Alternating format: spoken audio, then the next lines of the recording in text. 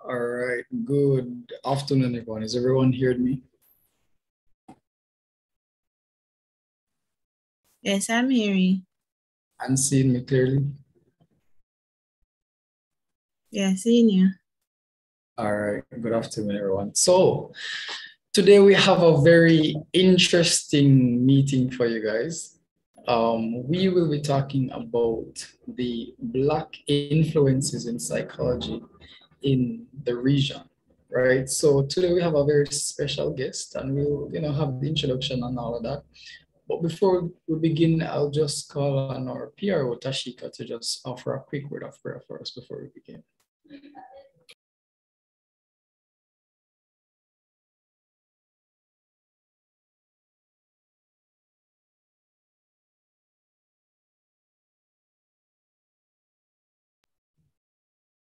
Tashika.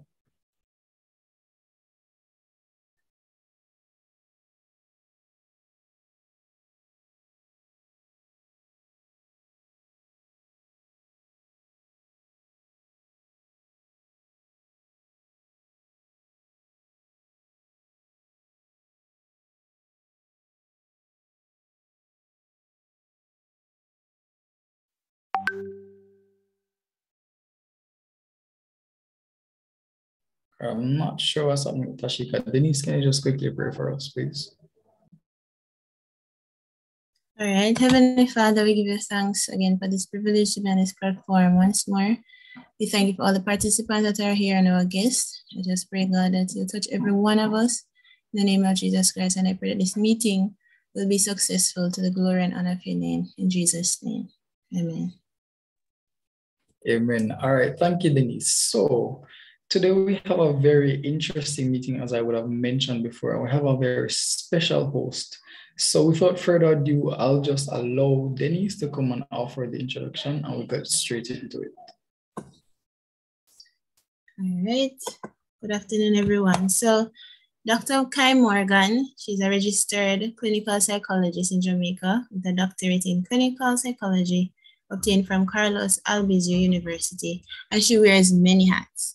She worked as a clinical psychologist at the UWI as a lecturer and the University Hospital of the West Indies as a consultant in the Department of Community Health and Psychiatry. In 2016, she moved into the entrepreneurial world to include a private practice and consultancy work and other business endeavors. She is currently the immediate past president of JAMSEC, the co-chair of the Professional Practice and Standards Committee of the Caribbean Alliance of National Psychological Association, or CANPA, among other things. Her interests for both research and clinical practice include trauma, sexual behavior, couples or relationship dynamics, assessments, and Caribbean psychology. And she enjoys consultancy work in the areas of research, training, and supervision. So at this time, let us welcome Dr. Kai Morgan. Greetings, greetings, everyone. Um, thanks for the invite. Um, I am going to share my screen and just see if I can go through this um, presentation where we're looking at Caribbean psychology, Black psychology in general, right? It's um, trying to keep it really short and sweet. So, um, and then you'll get the point, right? So you'll get the point.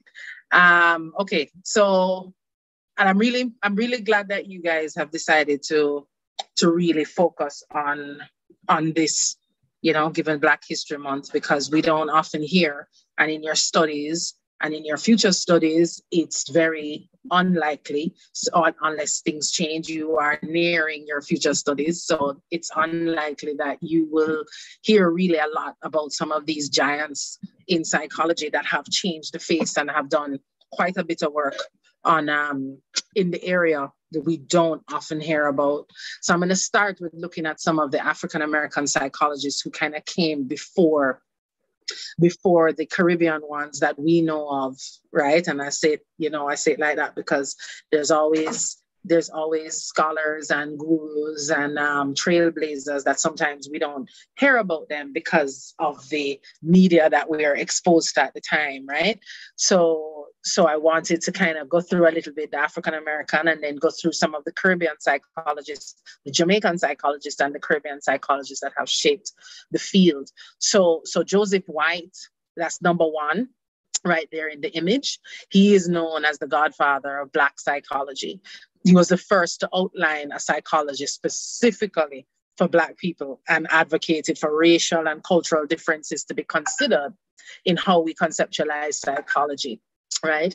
And then we have Inez Prosser at number two, who is the first African American woman to receive her PhD. Her dissertation looked at academic development in African American children in mixed and segregated schools, right? Then we have um, Augustine Nsamenang, and he's at number three, and he's a, he was an immigrant, right? He was an immigrant um, from Ghana to the UK and he was dedicated to having African voices and perspectives heard in the field of developmental psychology. Um, he is the one that's known, you may have heard of the seven stages of selfhood and other theories of, of development. His work is um, seminal in the text human development in cultural context in a cultural context a third world perspective then we have Mamie Clark. She's somebody you may have heard of, right? Mamie Clark is famous for her work on racial identity. Um, when you think about the studies with the with the um, with the dolls, and looking at the dolls. You may have heard of this one, and looking at the dolls and asking, you know, which one do you like, and looking at issues of racial identity and self esteem. That's her. And um, she found basically in her tests and in her research that many African American children um, were diagnosed incorrectly with learning disabilities due to the biases in psychological testing at that time. So she was big into testing and looking at, um, again, racial identity. As you imagine, a number of them would have been at that time, would it be the topical issue? And it's right there, still a topical issue now. So that's Mamie Clark. Um, then we have Frantz Fanon. Frantz Fanon was actually born in Martinique. Um, so he is a Caribbean, a son of the Caribbean, and he a psychoanalyst. Um, he was very big on psychoanalysis, and um, in his book Black Skin, White Masks, he explored just what that. I don't know if you've heard about the roast breadfruit psychosis. That's one of our premier psychiatrists, Professor Frederick Hickling, who died in 2020.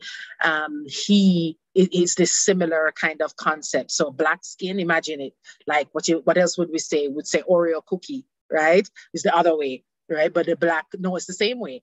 Black, black on the outside, white um, with a with a white mask, and that's what he talked about. He talked about that dilemma, and again, racial issues of racial identity. Really, he also wrote "Wretched of the Earth."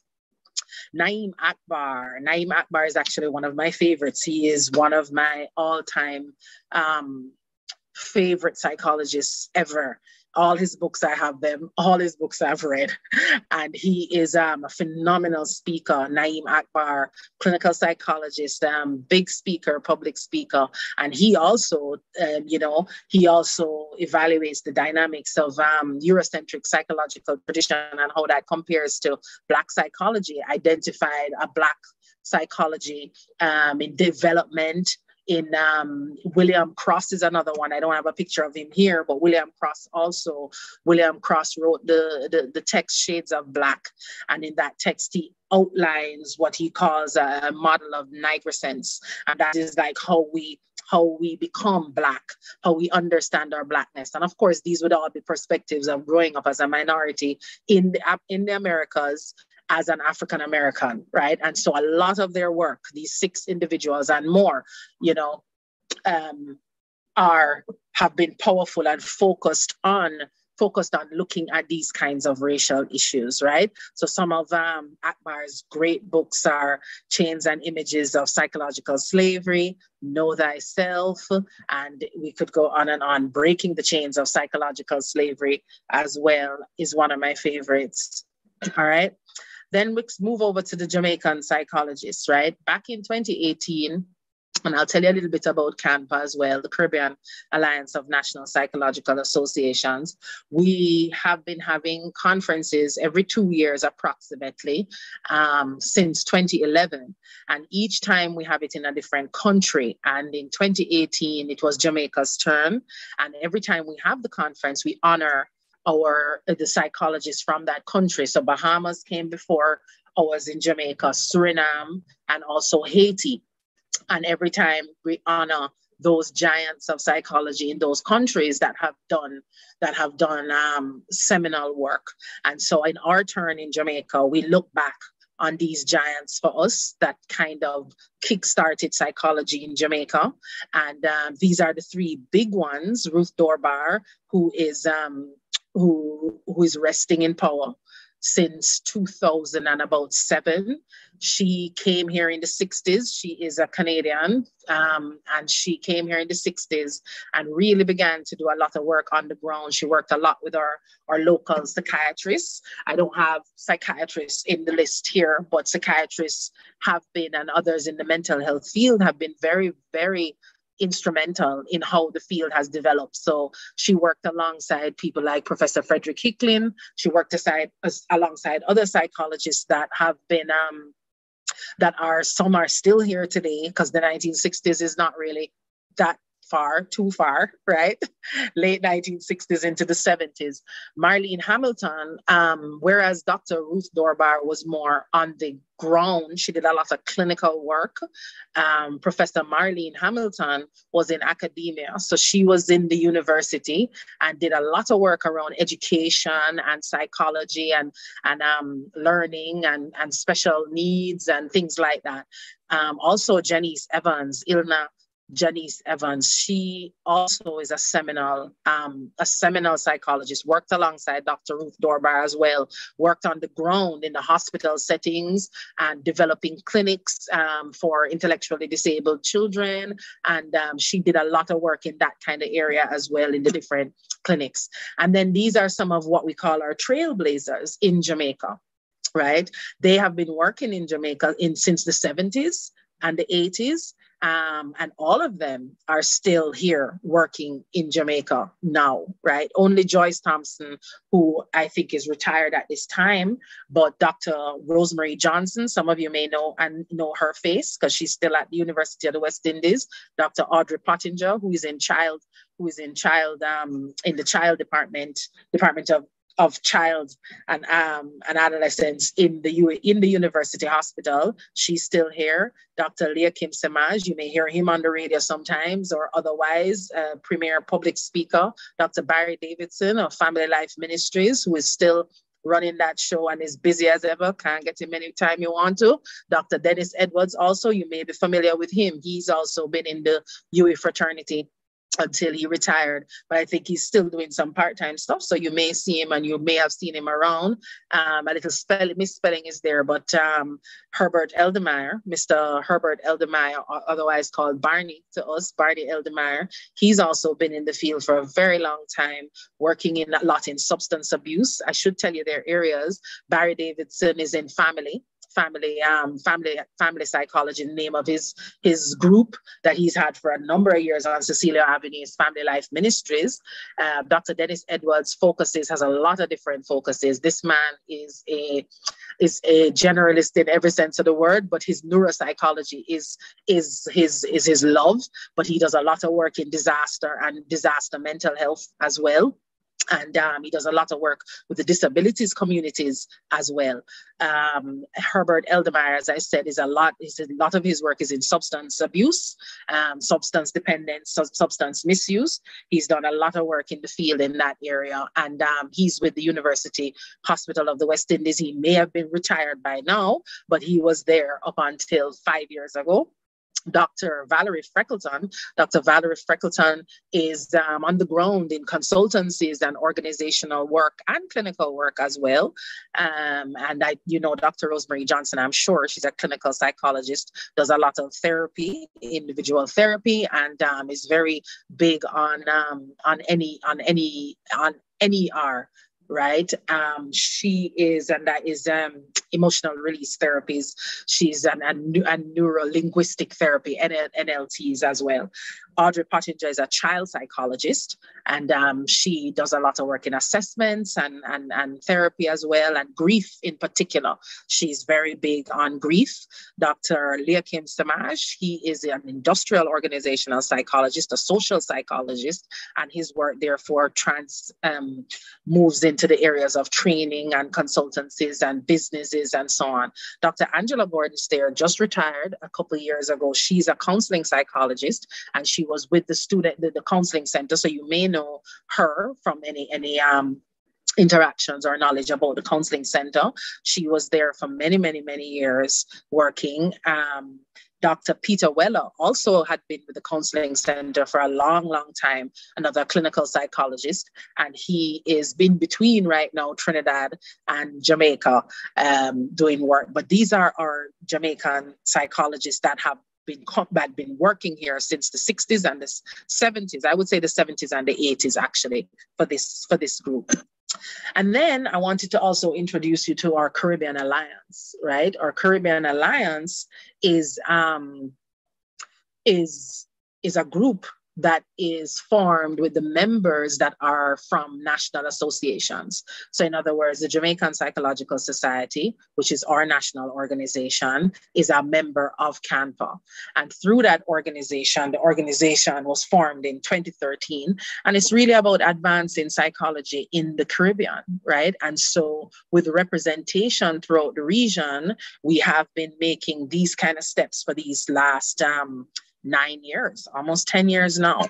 So with CANPA, um, these are some of the member countries. We have 13 member countries right now. If you know your flags, you'll pick up some of them right here. There's Bahamas, there's Jamaica, there is the United States Virgin Islands, there is, um, I did say Barbados already? Yes, Barbados. There is Trinidad and Tobago, there's the Dominican Republic, there's Cuba, there's the there's Dominica, and there are psychologists in these spaces. There is, um, and we're always looking to add more individuals to our cadre so that we can build build psychology in the Caribbean. Their standing committees include things like um, Psychology Education and Training Committee, which is looking again at training and, and, and, and hopefully the standardizing of standardization of training across the Caribbean, professional practice and standards, which is one of the committees that I chair, that we are looking at how professional practice regulations of for practice, licensure, and all of that can be can be uniformed. It's a, it's a big task, but we look at these matters. There's a disaster mental health standing committee. There are other committees as well that have to do with finance and regional conference and publications, right? And these are some of the team members you know we see here people from cuba people from puerto rico which is another member organization you see dr ishtar govia you may know her also she's with the university of the west indies there is dr these are others across the caribbean so there's dr um, dr ava thompson on the right with the yellow jacket. She's from the Bahamas. She's actually the founding member of CANPA. Dr. Guerda Nicolas, she is from Haiti and she is one of the founding members as well. Dr. Rita Dudley Grant in front of her with the green, the green um, loop thing with the tag. Um, she is from the US Virgin Islands, St. Croix and Dr. Ishtar Govia, who's originally from Trinidad but lives in Jamaica and represents Jamaica as well um, in many ways in CANPA. Uh, behind Rita, Dr. Rita Dudley and Dr. Govia is Dr. Guillermo Bernal. He is originally from Cuba, but he lives in Puerto Rico with his wife behind him, who's Marizaida Sanchez. She's also involved in CANPA. Beside Marizaida is um, Maya, Maya Hymans. She is from Suriname. And so she represents represents Suriname. And then in front of her is myself.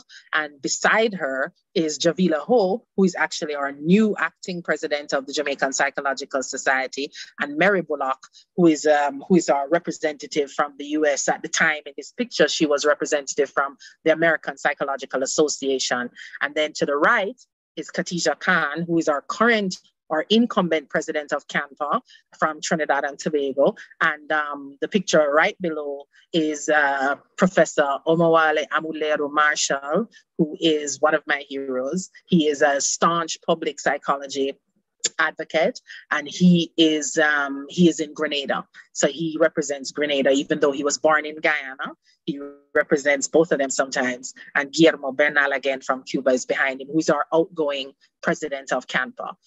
And um, and these are some of the faces. There are many more faces. I haven't named all of them. I haven't touched some of our islands. I haven't, you know, but this is this I think is a lot for you to understand and to really kind of sit with the reality that we are making waves in the Caribbean. We're doing things and we are this this great field of psychology is building and growing through many of these people and many more. Some of these people and many more.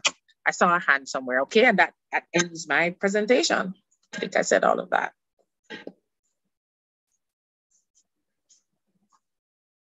All right. Yeah, I saw a hand. Tasha, did you want to mm-hmm. ask a question?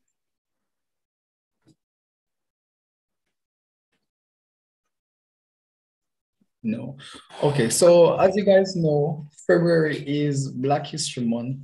And a lot of times, you know, when we're learning psychology, especially in the introductory courses, we learn about the William James, the Wilhelm Wundt, uh, you know, you have the Freud, you have the Rogers, and all of these persons are, well, white persons, but we don't get to see oftentimes like representation of Black people within the space. So we thought it interesting to bring some attention to you know, black people who are making waves in this realm. And it's really interesting, Dr. Morgan, to have such, you know, a saturation of psychologists within Jamaica, but not just Jamaica, but also the wider Caribbean region as well. So really, thank you. I know you have, you know, your time is very um, apportioned. So we really thank you for just taking some time out of your busy schedule to just come and share with us about, you know, the black persons making waves as you as you appropriately and correctly said within the space. So um, thank you so much for sharing. You're very welcome. We Give thanks.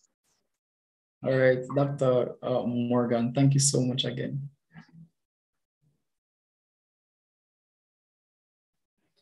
All right, guys, as I would have said, uh, you know, February is Black History Month, and we really couldn't end the month without acknowledging that. And, you know, we're a psychology association, so we wanted to, you know, provide a spin on that, you know, showing you, you know, the influence of Black psychologists in the space. Um, now we have our guest performance for you, and I'll just allow Denise to introduce her.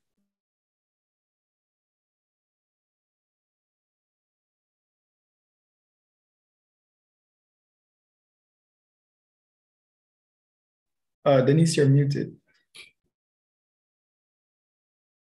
All right, these devices do what they want to do sometimes. All right. Also, our guest performer is Kimisha Campbell. Her major is political science and she does a minor in economics. Um, currently, she is the vice president of the Writers Circle and the public relations officer of the UWIMONA Governance Society. In addition, she is a Faculty of Social Sciences mentor. Her hobbies include volunteering, advocating when the issue becomes greater than her fear, and sleeping. That's a good hobby. As a writer, her central themes are love, death, the life in between, and mental illness. She loves writing, and it's her way of expressing, so it's all done on a personal level. Let's welcome Kimisha Campbell. Hi, everybody. Um, Hi. Yes, hello. All right, so yes. I brought a piece today to perform um, backstory. When I asked everybody about, you know, Black culture, it was mainly centered around one thing. So I said, all right, let me try some things. I don't, I don't think it's perfect, but yeah. All right, so let me go. So when I when I speak of my Black culture, I'm not speaking of my Black struggle only. Yes, we were captured from the bosoms of our mothers, betrayed by our brothers, forced neglected by our fathers, all to have our sons harvested into tankless robots. Looked down for shedding a tear, but praised for the many kids he bore, but never really sure of which is his, so he neglects them. A cycle never unbroken, forcing our brother, our daughters to become the floor mat he puts his foot down on, because he dare not breathe a word of pain. Men must be men, and the woman simply must be women. The giver of the love she has sought, and the mender of the pain our sons have brought. Black women must die exhausted. Now,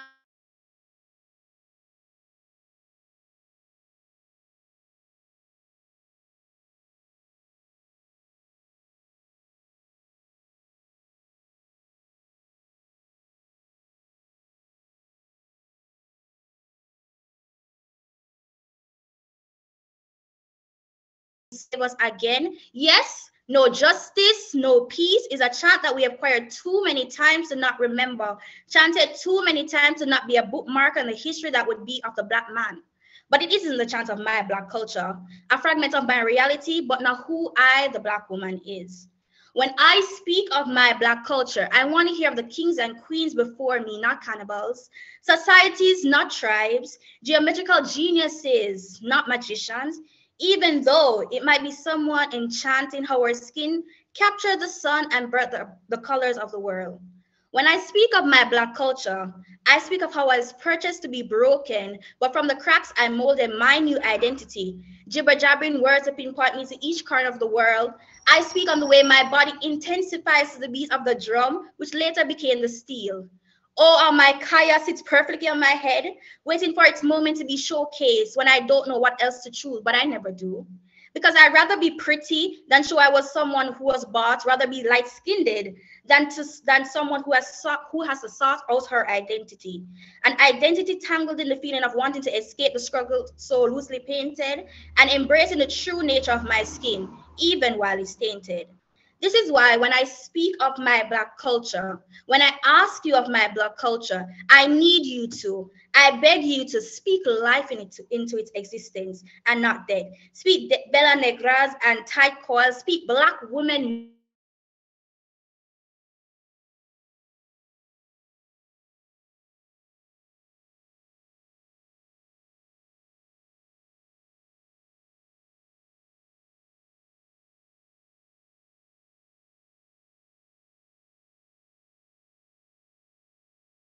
who I, the Black woman, is. Thank you. Whoa, whoa, whoa! That was that was truly amazing. Um, you there were sometimes when you you chipped out a little bit, but I think that the parts that oh, we did. Sorry, the internet. Yeah. Yeah, we know the struggle. Um, but honestly, whoa! I, I mean, I mean, I'm speechless. But that was such an amazing uh presentation. I mean, there Thank are no there's no words. Thank you. Um, yeah, so we, we recognize, you know, that it's Black History Month, and a lot of times we don't really get to see the, you know, the more positive parts of, of that, you know, aspect of our history.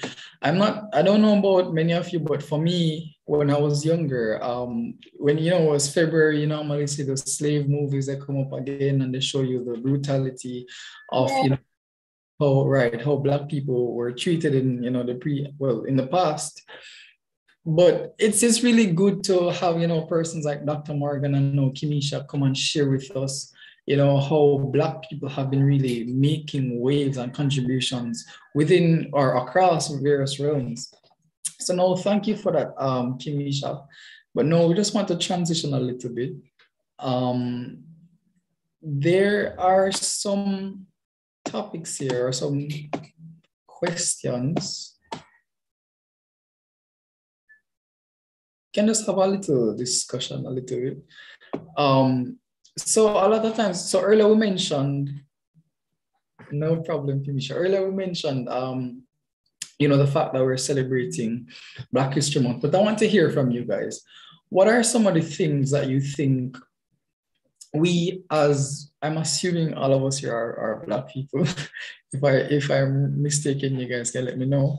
But I'm a lot of times we've seen, you know, how we're coming from as, as a race, as a culture, right?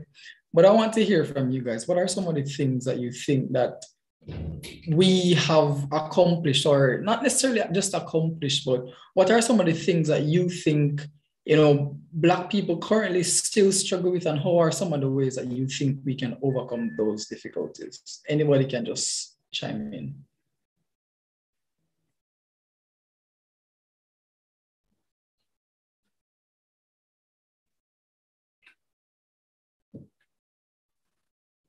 Um,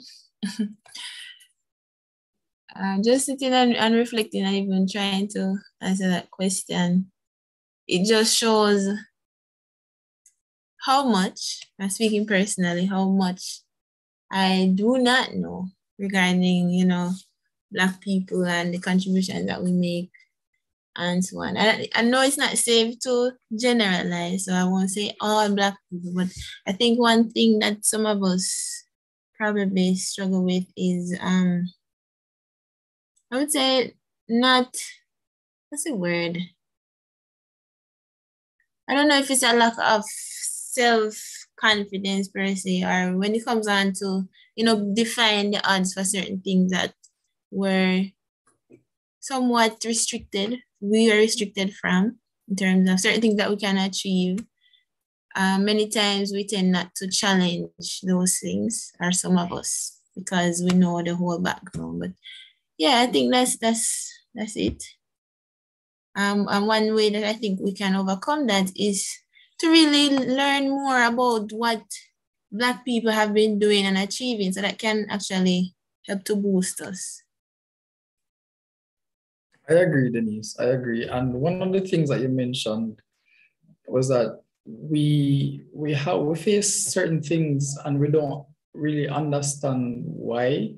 Um, I I was having a conversation with some persons earlier, and um, one of the things that we came across was you know the whole the whole black hair and I'm not sure if you guys are aware, but a lot of times, especially in the, the school system and the, the workplace, you know, Eh, in the context of here, the, the, the simple context of here, right? And how black um, here is, is, is presented, there are many times that we are, you know, made to feel as if how we were here is unprofessional, right? And I think it, it comes from the stance that, you know, we're, we're, we're operating based on the racial standards of or the, the beauty standards rather of the their their prehistoric uh, quote unquote ruling our dominant race, which was you know the white race. So I think a lot of times we we still have these archaic um, standards that we we allow our per, our people to conform to, and it it in turn stifles our racial identity, right? Because a lot of times you might see persons say that it's inappropriate, for example, to wear an afro in the workplace. And then you ask yourself, why is the why is something like that inappropriate? And you really can't get a solid answer. So I think a lot of times you're dealing with things that we don't truly understand enough about it to appreciate why we're doing some of the things that we're doing. And you know, to add to that, um, mm-hmm when, as you can see, I'm natural, but when I was considering going natural, the first thing that I thought about was, is it gonna fit me? You know, am I gonna be, you know, cute with it? And one day I had to look and say, like, how am I natural here? What God growth on my scalp now gonna fit me. And it comes to think, and even when with it grown out like this, I still, I'm still not at the capacity or the, the place where I want to wear it out you know, where like if me I got a dinner, I don't want to wear my natural hair or whatever. So it's still, you know, with them doing that and with less representation, you still have women, black women feeling like what they have is not good enough. You know, what you're working with is not a standard that should be attainable or should be, you know, you know, something that people can live to.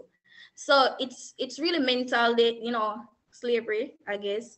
But yeah, you know, when you think about learning how to be black, you have to think about learning from yourself, learning from your identity. What do you like about yourself? You know, even though when the world tells you you're ugly, you look big, whatever, whatever, what do you like about yourself? And we have to try, as somebody said, relearn, unlearn everything. Mm-hmm. Right. So in the context, you, you touched on it, but I just want to probe a little deeper.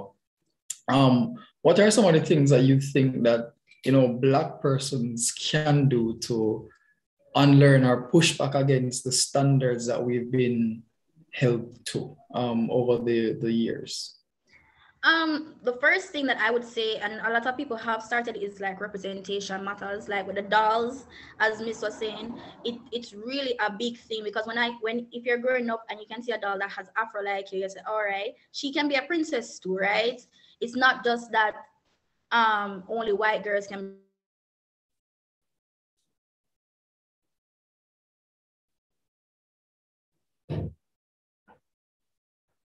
Uh, Kenisha, you went out. I'm sure her internet is open to it. And you can join like black communities, like talk about black stuff, not just always in a white people business. Talk what what what the, what the black community doing, you know, them something there. So that's how you can, you know, embrace your black blackness. I'm not saying if we run out go be like a US people where everything is black because I'm black because I'm black. No, I'm just yeah. saying educate yourself on being black. Right, and I think an understanding and an appreciation of where we're coming from as a race, and just embracing our differences and not trying to stifle our individuality or try to fit into the the contours of what has been pre-packaged for us as our beauty standards is very something that is noteworthy and it's something that um, we should constantly try to work towards or against rather. I saw a hand was up just now. um, Janelle, your hand was up. You wanted to ask a question or say something. Okay. What I was to say is being said already. Um, I was to talk about, you know, we as a people in terms of we are still under the shackles of slavery. Um, so for instance, no, we the way how our or, or um our politics is even is still Western. So even though we are moving forward as a people, we are still backwards because the way how we we, we, we think is still backwards. The way we think about our skin is backwards. The way how we we, we, we do things is backwards. So we, we're like, okay, I want to do this, but how will it look to you know America? How will it look to Europe? So we are still looking back at the powers that were the one that were subjecting us or holding us in, in place. And even our last names, like we that, that that's that's a connotation of slavery right? Our last names is not our own because after slavery, we didn't know where, uh, where we came from. We lost our identity, we lost our people. So we, we have to go to ancestry.com to be basically trying to get to know each other.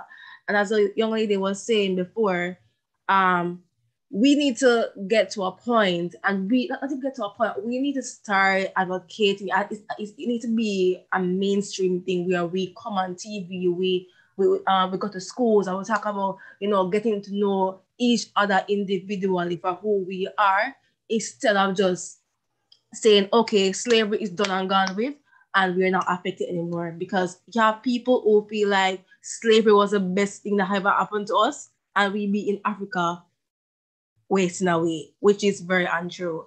So for me personally i am going to take one step forward and change my name changing my last name because my last name is not a representation of who I am. I am going to make the person who I am and give myself a name for basically who I am in the future. So that's basically it.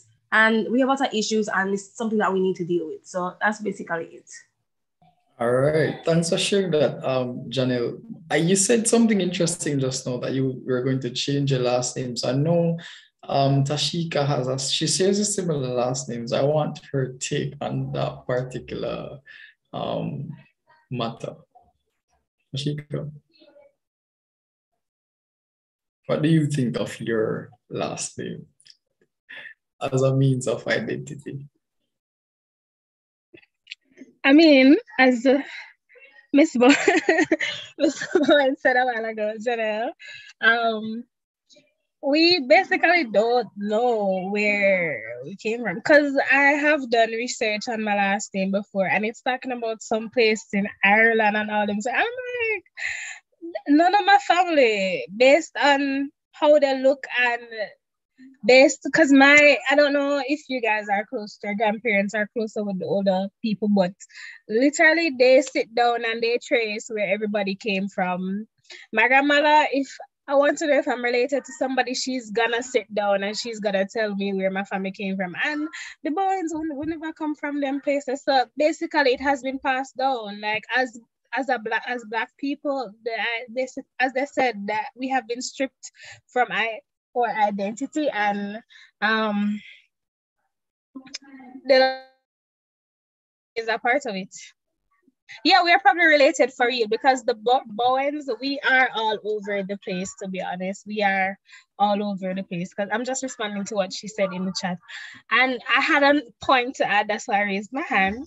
Um, togetherness, that is something that we need because a lot of the, you find that a lot of the things, even with your, with our hair, like you find that um we are not together or united in in basically in the movement. Or for example if you're natural hair you don't find a lot of people supporting you in terms of wanting to wear it professionally or something like that. You know if you want to wear your hair they're like okay you have to do your hair to do this or you have to wear a wig or you have to do this or you know it's it's like you are alone a lot of the time. So togetherness is something in, that is very important in any aspect of you know, regaining or I guess building our identity as Black people. I agree, Tashika. And you mentioned the, the point about togetherness. I, I think I had seen Joshua Rowe uh, mention something similar earlier.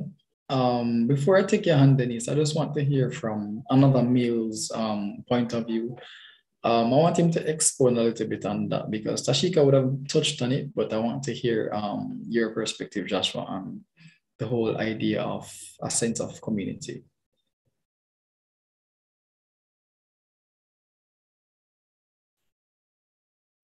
Joshua, are you still with us? Your mic isn't okay. you'll type. All right. So while you're typing, Denise, I'll, um, Joshua, I'll just take Denise's hand. Yeah, um, just a, a quite a provocative question here. As we're discussing um surname and so on, I know for a fact that my surname is English. So this question just came to my mind though. We know that yes, um, some of our ancestors came from Africa as Black people, right? But we can't I don't think we should negate the fact that, you know, we have mixed heritage. So if it is that we're going to, using the example of changing your surname or so, is it that you're only going to take a name that suits only one side of your ancestors, or are you going to find a name that shows the mixture or something like that? I don't know if you get what I'm saying, but the truth is we are we're quite a, a set of people. We're mixed for some of us, that is. So that's just something I wanted to to point out. So I just would like to hear your views on that. Um, you're directing that at Janelle, correct? Or yeah, no, not, not just Janelle, but anybody would like to share as well. Okay, I'll I'll take Janelle's hand and then I'll come back to Tashika. All right. So I do agree with you wholeheartedly because for me, I have I have a lot of races in my family. Like I know where which and which races we, we, we are mixed with. But at the end of the day, I don't really appreciate the fact that that we came that we that we stolen from Africa, right? And a name, we were stripped from our name, we were stripped from our, our language, right? And we are here now. And yet still we know nothing about that name. We just know that it's kind of, it, it, it's, it's associated with slavery, right? So being who I am today, I am not, I'm not only a part, I'm not only a, um, a, a person who, oh, but I'm a product of Africa. I'm a product from India. I'm a product from China. So all those all those people come together and make me who I am, plus how I am socialized. I'm going to create that name for myself because I know where I am at. I'm not going to be someone who the English wanted me to be. I'm their name is not me. Get what I'm saying? Because if you go back to learning what last names mean in in um in in Ireland and, and in, in English, they created those names because of what they were doing. Because they didn't have last names, you know. They made up their that last name and then say, oh, this, this is me, this is my generation. So I cannot I cannot keep this name because I, I I'm not associated with it per se. So I, I don't know if you understand what I'm saying, but if you do, yeah, I can explain further. Or you can just do some research. Well, in the interest of discussion, I would love if you would expound further, um, Janet. All right. So if I'm gonna go back to probably Scottish, Irish. So back in those times, they were call those people. Um, Indentured. It, it was the medieval, medieval time, I should say. You hear me? Mm-hmm. Hello. Yeah. you. Hear that. Okay. It was a medieval time. They didn't have a, they didn't have last names, right? They they they fight a lot. They, they did all, all of those stuff. And what they did is whatever that that family or what that person did, whatever John did to to um to, to probably kill a dragon or to probably um slay something, they would they, they would name him um Sir Anthony um Bowen or Sir Anthony um James, right? Because that's what he did. And he, his family now comes along, they got they get that last name because that surname wasn't just say, oh, I'm, I'm this, right? So that is that person, that is that family, that's that that's their history. But when you come to a, a, a island, a Caribbean country that you claim that you discovered, which was not discovered, right? Then I and you go to a different um continent and say, oh, I, I, I am taking these people forcefully and stripping them of their language, of their name, of their culture, of everything, and you just give them a last name. I don't feel like that's right because you you, you that, that's that's just right to me personally. But it this is more historically based, and for you to for, for you to basically um understand what I'm trying to say, you have to go back into history. You have to read the documents right? Documentations to understand this stuff. So this is basically an entire discussion separate apart from this um Zoom Zoom meeting. I get I get that, Janelle. Um, very very interesting points. I think Kimisha wants to weigh in on this. I'll, I'll allow her to go ahead. Hi, hi. Um, I understand what she's saying. Um, but while Scottish and them people never have the last name, Africans had their family name. And if we're looking at name, we can also say that not only last names are not African based, you have friend like Kimisha is not an African name. Like what I was saying is that Africans used to have names with meaning, right? Meaning. So if me, if I think that you're my hope, my last child, and maybe a name would say blessing or something, right? We have we we can't negate the fact that we still came here. We are still a part of this Caribbean identity that we are in now, right? So whatever we are today is Caribbean first of all, and I thought one of the major major thing we are uh, Caribbeans are always trying to like I identify with this, I identify with that. But what what are you now? What is your culture now? Like if you understand what I'm trying to say, right? We we are here. Sadly, we get take away whatever, but we're here now. We've developed. We have we're we're here for a lot of time. What are we now? What do what is our culture now? What do you want to pass down to your Yeah, excellent, excellent point, uh, Kimish. And one of the things that I'm not sure how many of you would have done or have any background in sociology, but what are the things that you learn in sociology is that but as, yeah, right. So like Israel and whatever, whatever. So but I think in our identity problem is that we're not looking at that. As somebody said, we are a mixture. No matter how we don't like it, them tea food, whatever, we are a mixture. And within this environment, we were social, socialized, we are something different. We're diff- if you look on TikTok, Africa, some Africans no one claim we. So what we are gonna do? you mean? So yeah. I, I I take your point, um, Kimisha, but not but um just in extension of that, I'm not sure how many of you would have, you know, a, a sociological background. Um, but one of the things you learn is that culture isn't isn't frozen, it isn't static, right? It's something that, that grows and changes very, it's very fluid, right? So as, as you, you, you rightfully said, we're no longer there. Yes, our ancestors would have been, you know, taken from Africa, um, but we're here now. So the onus is on us to chart our, our, our path going forward. And I mean, for, for those of us who are, you know, conscious of, you know, our past and, you know, the, the implications that it would have on us in the present, the, the onus is really on us to not so much be disgruntled about what happened. Yes, what happened was pretty horrific, um, in, in many ways, in many ways more than one. But we're here now and we're in the present now. So the onus is really on us, you know, to decide our future and what we want to do going forward. All right, so just going back to Joshua's point, you know, I saw he put in the chat that, you know, as a nation, we're, we're so easy to, you know, let me find back his um, response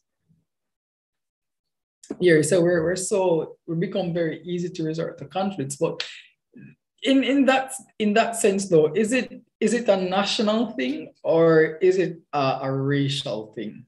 Because there, I think it's, it's easy to forget that nationality and race aren't they're not necessarily mutually exclusive, but they're at the same time they're not one they're not the one in the same. So it's it's um it's very nuanced.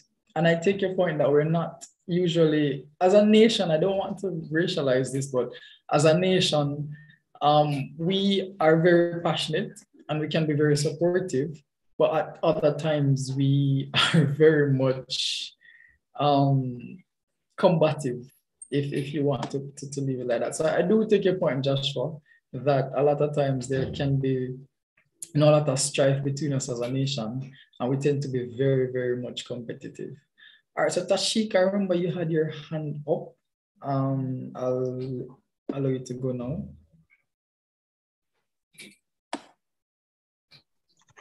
I mean, Janelle basically um, talked about it, so I, I literally have nothing to add.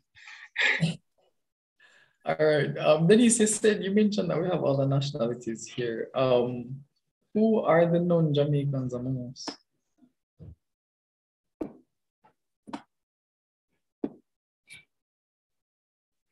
Oh, you're asking me or you're asking them to identify themselves? Oh, as, Um, I, I, I would like to assume, but just to not, you know, um, Adriel, I'd just like you to just come on and just tell us maybe a little bit about the demographic makeup of your um, country. Um, hi, everyone. So Guyana is mainly Indians and Blacks, but I honestly if I the percentage of which one is more, I really don't know, but they're very, very close. But then we are made up of six races. So technically, even though Blacks and Indians are the main races, we also have Portuguese, European, Amerindian, and Chinese. So it's six races in all. So um, when you guys are talking about, you know, wanting to find out where you're from, I'm over here like, mm, well, I'm all those six races. I'm I'm six of those races. My mom is three and my dad is the other three. So I'm like, mm, I if I had to pick a last name from wherever I was, I'd have a very long um, name. But um, that's really how it is here. The Chinese they only make up about one percent, but I would say because of all the businesses the Chinese mm-hmm. businesses that are coming in. I feel like we have more Chinese people that, that are like not actually Guyanese Chinese, but they're just like straight Chinese. And then we also have a lot of Indians who are like not Guyanese Indians, but they're actually coming in from India now. So mm. the cultural makeup here, it's very diverse. It is, it's really diverse. We have public holidays for Diwali, which is for the Hindus. We have Muslim holidays. So it's, it's really, you know, truly diverse. So we don't really have much I don't want to say much education specifically towards, you know, like Black History Month. I don't think I've ever, I never heard of that. That was always like an American kind of thing. I've literally only learned about that from the internet. We never, we're never taught it in schools because it's like Indians are also equally as important. And I think the other day we had like a rival day as like a holiday, but then some federation or some group of people were just like no that's it's not just arrival day it's specifically indian arrival day. So we then we had to have a whole switcheroo of this national holiday to be like it's specifically just indians it's not just arrival day. So i guess because it's very diverse i like coming to these sessions so i can see how you know black history is around the world because really and truly here we are i guess we're just taught about it like oh yeah slavery but then we're also like oh emancipation and oh the Indians were also brought here too. So yeah, that's kind of how it is in Guyana. oh, I I am very enlightened by that, um, Adriel. I, ho- I hope I'm pronouncing your name correctly. I'm seeing Denise is asking you to pronounce your last name.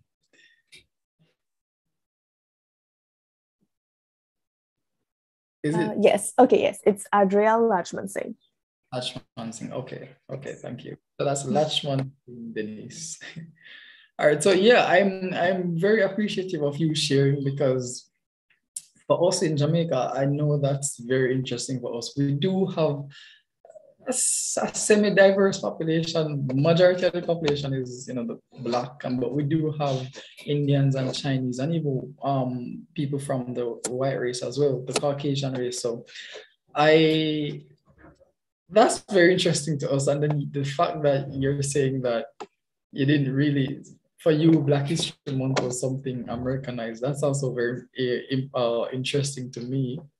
And I'm sure that other Jamaicans among us can relate to that as well, because Black History Month has always been such a monumental um, remembrance for us um, annually. So thank you for sharing that, um, Adriel.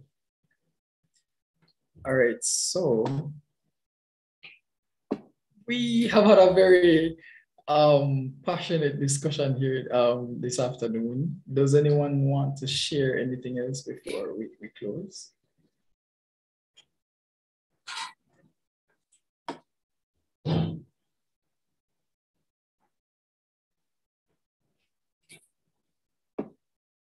All right, it seems that we're all topped out. All right, guys. So I'm seeing Denise has sent the register in the chat. So just ensure that you fill that up before 4.30 um, p.m. Uh, but we've had a very interesting discussion here this afternoon, guys, and I'm really thankful for all of those who, all of you guys who would have shared, come on the mic and, you know, typed in the chat. Um, very, very interesting stuff, as always we always have more interesting um, things in store for you. So next week and the, the consecutive weeks that will follow, um, we have more interesting things lined up for you. So ensure that you guys keep coming to club meeting, 2 p.m. on the dot. We begin every week. So without further ado, I thank you guys for coming and I will see you all next week.